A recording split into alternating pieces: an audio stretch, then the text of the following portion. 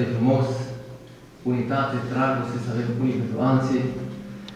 Și Domnul să ne binecuvânteze, Dumnezeu să ne trăiască Sfântul Cuvântul Domnului, cât de plăcut te sunt locașurile tale, Doamne, al știrilor.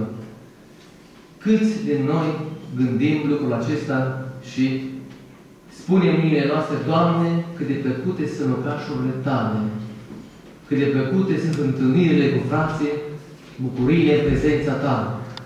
Și Domnul să ne binecuvânteze să spunem, Doamne, sunt plăcute pentru mine, pentru familia mea, pentru biserică, când ne întâlnim și să-L putem glorifica pe Dumnezeu și Domnul să ne binecuvânteze. Sufletul meu suspine și tânjește de dor după curțile tale. Domnul să ne binecuvânteze să tânjim și dimineața, și după amiaza, și toată viața noastră, când vom trăi cuvântul acesta, după Dumnezeu nostru și Domnul să ne întărească.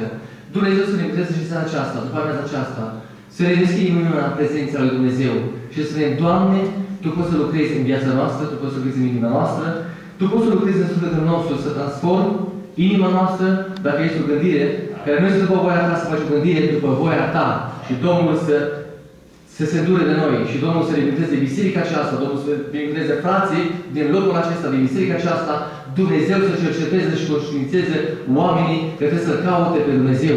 Și Domnul să ne binecuvânteze. Dorim să ne ridicăm pe picioare și să aducem rugăciune de mulțumire înaintea lui Dumnezeu și să-i mulțumim lui Dumnezeu pentru prezența Lui, să-i mulțumim lui Dumnezeu pentru dragostea care a față de noi, că și în seara aceasta ne-am strâns în locul acesta și zic ca Domnul să ne binecuvânteze. Să-i spunem, Doamne, în seara aceasta stăm înaintea Ta, în seara aceasta stăm în prezența Ta și nu oricum putem să venim înaintea Ta, nu oricum putem să stăm în prezența Ta și Domnul să ne încreze, așa cum spune Roman, capitolul 12, să aduceți trupurile voastre ca o jertfă. Noi în seara aceasta vrem să aducem tot ce avem ca o jertfă înaintea Ta, o jertfă de bun miros, o jertfă de bun plăcut înaintea Ta și Dumnezeu să ne binecuvânteze. Doresc să toată inima, să ne deschidem inima și să spunem, Doamne, lucrează în viața noastră și Domnul să ne binecuvânteze așa cum stăm, ne rugăm Domnului.